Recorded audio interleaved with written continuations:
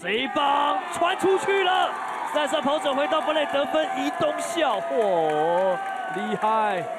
这是中间方式的安打呢，把垒上的跑者陈一浩给打了回来。那当然，呃，刚刚陈一浩呢利用三垒闹空城，他上到三垒，也让中外手这个球连传的机会都没有。没机会，对，哇，这个这这一分真的很珍贵，尤其然后比赛来到八局下半，